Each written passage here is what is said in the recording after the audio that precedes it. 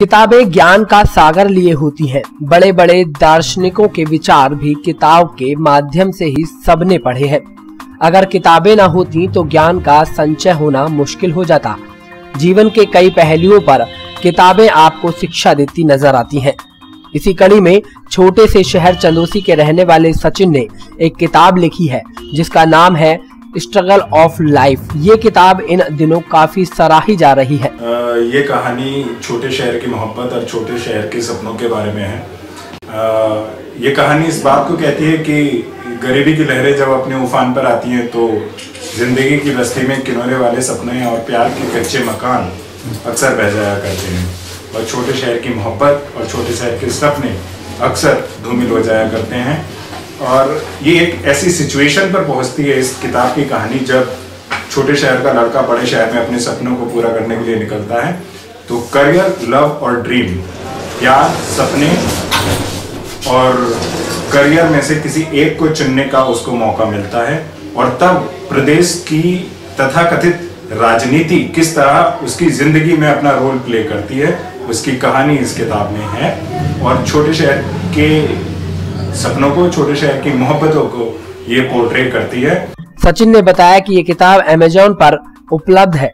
लेखक सचिन की माने तो इस किताब में एक छोटे शहर के लड़के की कहानी है जो बड़े शहर में पहुंचकर प्यार सपने और करियर के चक्कर में फंसता है। साथ ही राजनीति उसके जीवन में हाहाकार मचाती है। ये इन्हीं का मिश्रण है। की सबसे बड़ी खास बात यह है कि एक आम ज़िंदगी के सारे पहलू इस किताब में कवर हो, रहे हैं शुरू करूँ मैं तो जिस तरीके से बचपन में एक सपना देखा जाता है तो बचपन में जब सपना देखने की उम्र होती है तब से लेकर सपना देखना प्यार होना आसपास के समाज को कवर करना और उसके बाद सपना पूरा करने के लिए जद्दोजहद और किस तरह उन सपनों में या जो आपके टारगेट्स हैं उनके लिए पॉलिटिक्स किस तरह रोल प्ले कर जाती है, चाहते हुए भी और ना चाहते हुए भी। इसका साक्षात उदाहरण इस किताब में है। बहुत ही ज़्यादा लाइव बुक है, बहुत ज़्यादा लाइफ इस किताब में है। ये एक थ्योरी नहीं है। मतलब जो बात कहकर निकल जाए, वो नहीं है। ये किताब प्रैक्टिकल है। जो एक आम ज़िंदगी से जोड़कर रखती है, वो कहानी का पोर्ट्री इस किताब में मैंने करने की कोशिश की है।